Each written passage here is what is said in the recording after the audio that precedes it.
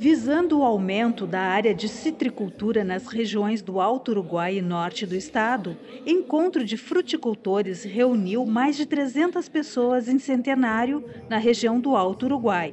Participaram do evento produtores, extensionistas da Emater, prefeitos e secretários municipais, empresários, lideranças das regiões e representantes de instituições financeiras. A atividade foi marcada por palestras com recomendações técnicas de boas práticas de manejo para a implantação e condução de pomares já existentes, perspectiva de mercado e prevenção de doenças.